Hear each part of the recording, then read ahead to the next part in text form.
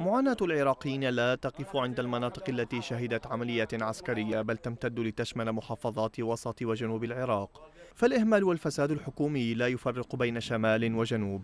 منطقة الوافدين في مدينة الكوت مركز محافظة واسط. مثال على الإهمال المتعمد من قبل حكومات لا تهتم إلا بتحقيق مصالح الفاسدين من الطبقة الحاكمة.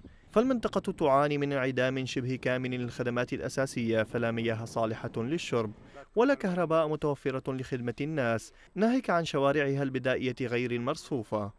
الأوبئة الأمراض الجراء الديدان ما شايفيها طول عمرنا ما شايفين هيك ديدان.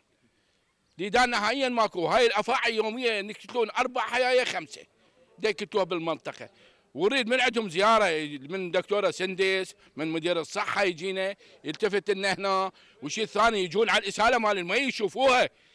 أم ال 500 أم ال 500 وإحنا هسه 4000 بيت عندنا هنا غياب الصرف الصحي وانتشار المستنقعات أسهم في انتشار الحشرات والزواحف الضارة كالحياة والعقارب وغيرها.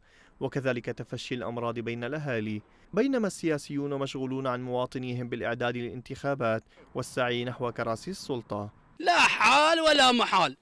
كفيلك العباس أبو فاضل ملينا بزعنا. يوميا واحد جاينا تعال انتخبوني وأعطيكم فلان شيء وأعطيكم فلان شيء مو كافي عيب. مو عرفناكم. زين بينت حقيقتكم. يعني وقت الانتخابات قمتوا سياراتكم تفترون. كل ساعة.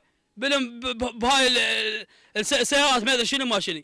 الإهمال الحكومي وانعدام الخدمات في منطقة الوافدين يعد في نظر مراقبين. مثالا لنتائج سياسات حكومية أفقرت العراقيين ووضعت العراق على رأس قائمة الدول الأكثر فسادا في العالم. سياسات تستوجب محاسبة لهؤلاء لا إعادة انتخابهم.